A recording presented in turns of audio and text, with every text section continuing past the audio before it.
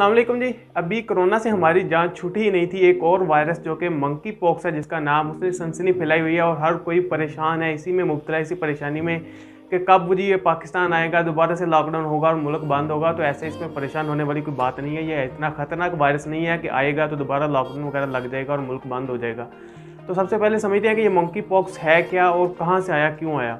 तो monkey pox होगा ये नया वायरस नहीं है, ये बहुत पुराना वायरस है, लेकिन इसके केस पहले अफ्रीका में होते थे ज़्यादातर, लेकिन अब कुछ अफ्रीका से बाहर, कुछ यूरोपीय मुल्कों में और अमेरिका वगैरह में आ गए इसलिए इसका खतरा बढ़ गया कि शायद ये बाकी मुल्कों तक भी फैल सकता है।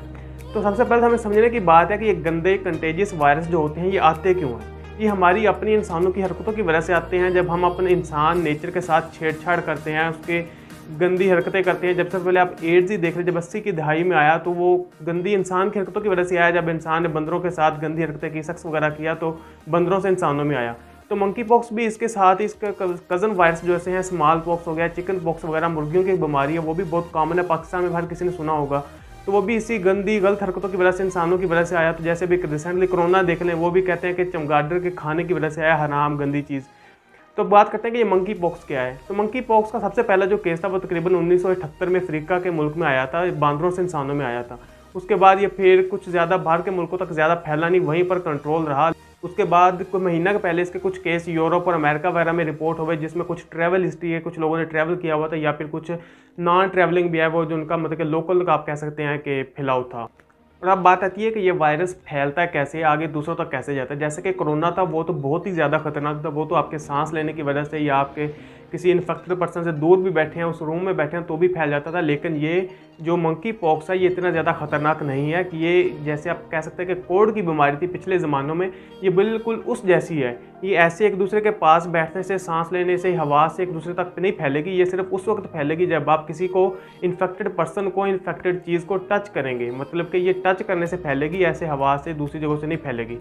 फिर जैसे कोरोना का एक पीरियड था कि जब आपको कोरोना हो जाता है तो आपको तकरीबन 10 से 14 दिन के बाद पता चलता था कि आपको कोरोना हो गया है। इसका भी यही सीन है। इसमें तकरीबन 5 से 21 दिन के बाद आपको पता चल जाएगा, आपको साइंस और सिम्टम्स इस तरह के शो होंगे कि आपको वायरस हो चुका है। तो आप और इसकी खास बात यह है कि फैलेगा भी उसी वक्त जब आपको किसी इन्फेक्टेड पर्सन को सिम्टम्स शो होने शुरू हो गए हैं। उसके बाद ये आगे किसी दूसरे बंदे को फैलना शुरू होगा। उससे पहले ये इतना खतरनाक नहीं है, फैलता नहीं है इतना ज़्यादा। तो सबसे मेन भाई चीज़ तो इसकी ये कि ये फैलेगा नहीं इतना ज़्यादा। सिर्फ़ बहुत मखसूस एरियाज़ के अंदर इसको कंट्रोल किया जा सकता है, जहाँ पर इसके कुछ केस हैं, वहाँ पर इसको रखा जा सकता है। जैसे कोरोना की तरह इसको बहुत ज़्यादा सारे मुल्क को बंद करने की ज़रूरत नहीं है। कि जैसे अगर इन फैमिली में किसी को हो गया तो फैमिली वाले खुद ही एहतियात कर लें, कुछ बंदे से कुछ देर के लिए दूर रह लें। तो अब बात आती है कि इसके कैसे पता चलेगा कि वायरस हो गया है। तो वैसे तो ये जो बीमारी है मौकी पॉक्स की एक सेल्फ लिमिटेड बीमारी है, कि जो कि दो से चार हफ्तों के दरमियान खुद ही ख़त्म हो जाती है। लेकिन जैसे ही वायरस आएगा, आपको लगेगा कोरोना की तरह इसके भी बुखार होगा, आपको थोड़ा बहुत और घबराहट होगी, बेमा कमज़ोरी होगी, नकाहत से इस तरह के फील होंगे गुथलियाँ बनेंगी जिसम के अंदर, जिनसे लिम्फ नोड भी हमारी मेडिकल के ज़बान में कहते हैं कि गर्दन के अंदर, कोहनियों के अंदर बाजुओं के अंदर, घुटनों में गुठलियाँ सी बन जाएँगी आपकी।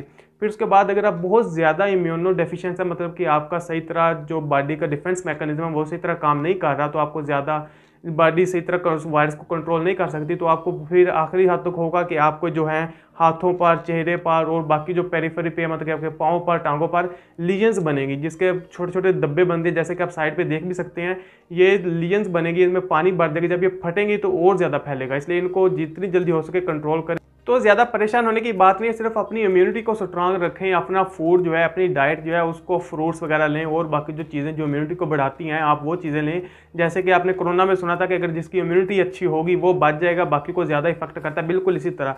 इसमें आपकी इम्यूनिटी काम करती है कि आपकी इम्यूनिटी कैसी है डिपेंड करता है आपकी इलाज पर, आपकी आगे जो इससे रिकवर होना, आपकी इम्यूनिटी पर डिपेंड करता है। और बाकी इसमें मोर्टेलिटी रेट जो है मतलब मौत का, जो मरने का खतरा है, वो बहुत कम है, तकरीबन तीन से छः फ़ीसद है। और बाकी अगर बहुत ही ज़्यादा आप कह लें कि बूढ़ा शख्स है, उसकी इम्यूनिटी भी अच्छी नहीं है, और भी कोई बीमारी है, पहले जैसे ब्लड प्रेशर की या शुगर वगैरह कह लें तो फिर तकरीबन 10 से 11 परसेंट कहीं पर रिपोर्ट हुआ है कि यहाँ तक पहुँच जाता है इसका मोर्टेलिटी रेट लेकिन बाकी इतना ज़्यादा खतरनाक नहीं है, ज़्यादा परेशान होने की या सनसनी फैलाने की ज़रूरत नहीं है, इतना खतरनाक वायरस ये नहीं है, कोरोना की तरह ये बिल्कुल भी नहीं है। सेल्फ लिमिटेड है, दो से चार हफ्तों के दरमियान खुद ही खत्म हो जाता है, बाद भी इसको रिकवर हो जाती है इसे खुद ही खत्म कर लेती है। और इसका भी अभी तक कुछ खास इलाज फ़िलहाल तक तो नहीं है, लेकिन अलबत्ता कहते हैं कि जो स्मॉल पॉक्स की वैक्सीन थी, वही, वो भी इसके खिलाफ भी काम करती है कुछ हद तक। तो इसलिए पिछले दिनों मैंने कुछ खबर देख रहा था कि अमेरिका ने तकरीबन 100 बिलियन की ये स्मॉल पॉक्स की वैक्सीन वगैरह खरीद लिए इसमें लिए ज़्यादा परेशान होने की ज़रूरत नहीं है, अगर ये ज़्यादा इफ़ेक्ट भी करता है, ज़्यादा फैलता है, फिर उसकी वैक्सीन तकरीबन अवेलेबल है, वो कुछ हद तक काम कर लेगी, इसको कंट्रोल कर लेगी। तो उम्मीद है जी, आपको समझ आ गई होगी, ये छोटी सी डिस्क्रिप्शन आपको इस मौके पॉक्स को समझने में मदद करेगी और इससे बचने में तो ज़्यादा परेशान होने की पैनिक होने की ज़रूरत नहीं है जी। इंशाल्लाह मिलती है जल्द किसी अगली वीडियो में, तब तक के लिए इजाज़त दीजिए।